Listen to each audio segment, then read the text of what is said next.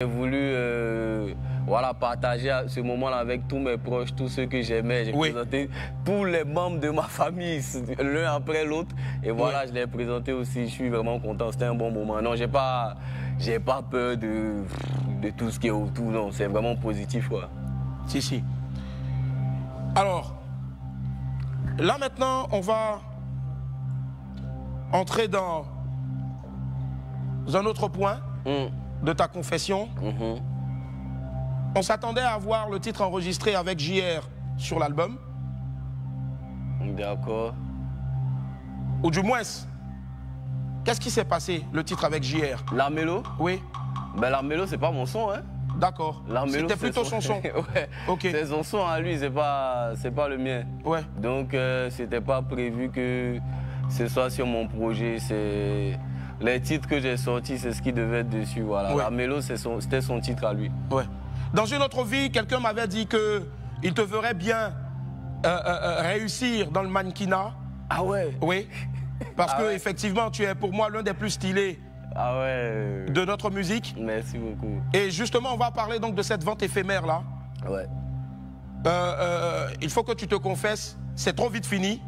D'ailleurs, est-ce que c'était juste uniquement pour la sortie de l'album? Où tu comptes investir, t'investir pleinement à long terme dans, je veux dire, tout ce qui est design, tout ce qui est mode En vrai, comme c'est une confession, moi je vais pas te cacher. Oui.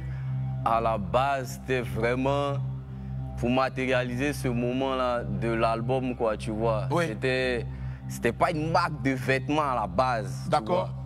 Quand je lance le pop-up, je suis en train de, je suis en train de dessiner, je suis en train d'organiser tout ce qui va participer à la communication de mon album. Mhm. Tu vois, ce jour-là, c'est pas une marque de vêtements que je lance, c'est vraiment mhm. ce qu'on appelle du mesh. C'est des produits qui sont accessoires à l'album, en fait, tu vois.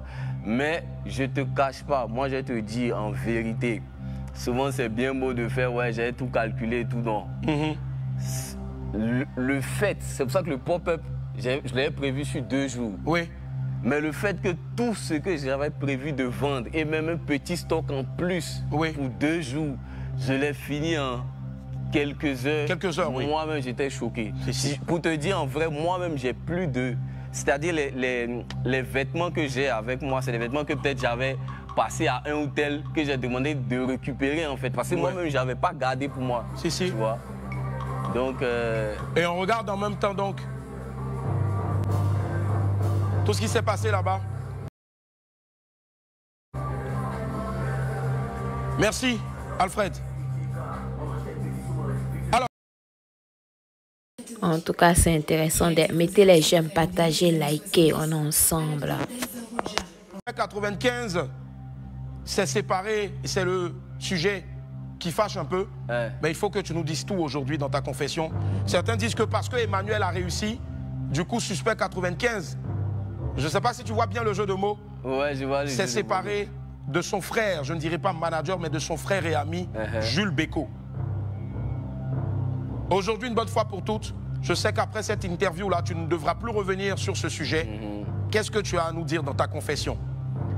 Euh, Déjà, ce que je veux te dire, c'est que c'est un parcours de vie. Hein. Oui. Euh, on commence, on développe ensemble.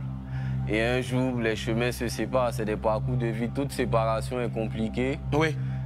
Il y a des séparations qui sont simples, il y a des séparations qui sont compliquées, il y a des séparations qui sont simples et qui deviennent compliquées par la suite. Si, si. Mais l'essentiel, c'est de retenir le positif. Oui. Et retenir uniquement le positif dans toute relation ou dans toute, euh, voilà, dans tout taf qu'on fait ensemble. Quoi. Donc moi, je préfère qu'on retienne mhm. uniquement le positif de ça. C'est cela.